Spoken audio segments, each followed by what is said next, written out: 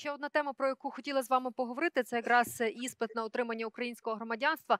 В нашій студії проекту говорить Великий Львів. Ми про це часто говорили ще до повномасштабної війни. Наскільки це важливо, наскільки важливо українцям знати і мову, і історію, і все, що стосується держави Україна. Зараз кабінет міністрів розробляє.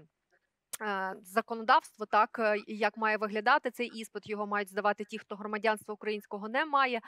А Хочемо вас про це запитати. Що ви про це думаєте? І якраз, от знаєте, ну в нашій студії часто говорили про те, що є люди в Україні з громадянством, яких би ну не завадило їм здати подібні іспити. От що робити в такому випадку?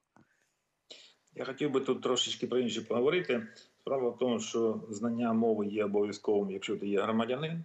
О, це не, не значить, що як то треба давати певний час, якщо хтось мови не знає, нічого страшного не, немає, тому що певний час, особливо люди літнього віку, вони були під російським, скажімо так, окупацією мовною знаходились. Я хотів звернути, звернути увагу на трошки інше.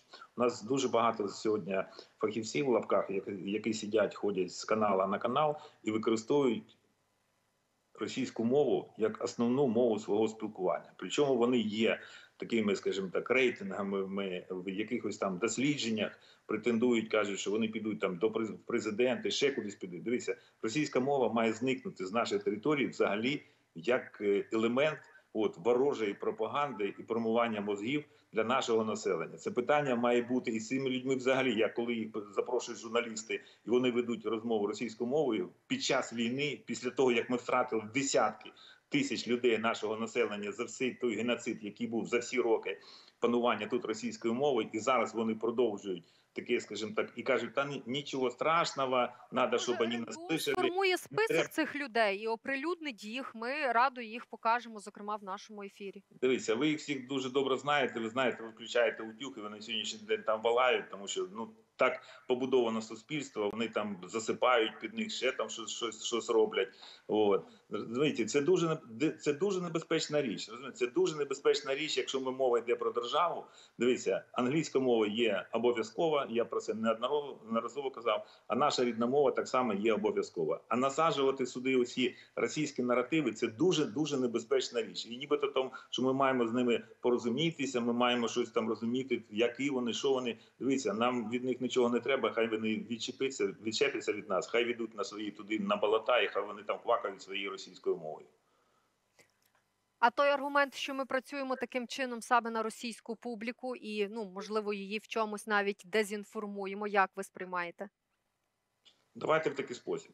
У нас є чітке дослідження, те, що стосується е, російської російської спільноти. Ми розуміємо про кого йдеться мова. Дивіться, ці розумні люди на сьогоднішній день знаходяться, скажімо так, за кордоном. На Російській Федерації там вже лишилися тільки ті, які є апологетами пана Путіна, скажімо так. І якщо ви вважаєте, що наше завдання їх перевиховувати, то я так не вважаю. Нам треба своїм займатися, займатися своєю країною, розбудовувати свою країною, свою країну. На жаль, 30 років ми гралися в такі іграшки. Знаєте, та оце сусіди, з ними треба, та брати там, а потім ще побратими. Там там ну якоїсь то е, якоїсь то неподобства тільки тільки тільки тільки не було за всі ці ще. Це, це припинити раз і навжди і розуміти. Якщо ми хочемо бути державою, якщо ми хочемо бути нацією, якщо ми хочемо бути країною, от то у нас має бути чітке розуміння, як це відбувається. А мати під боком такого підступного сусіда, от ви зараз з ними будете спілкуватися, ви будете говорити, та давайте ми вместе, ми брати, сестри там і, і таке інше.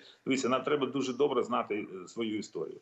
От я я не хотів про це говорити, але ну скажу, знаєте, в мене є хобі, я друкую книжки.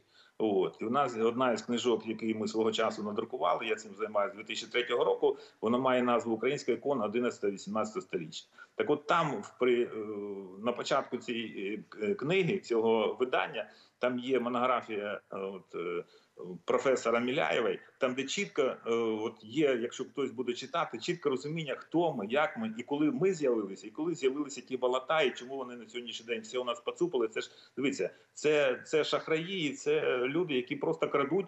Кож постійно крадуть, крадуть і крадуть. Розумієте, це треба раз і назавжди припинити. І мовне питання в даному випадку 100% нам допоможе.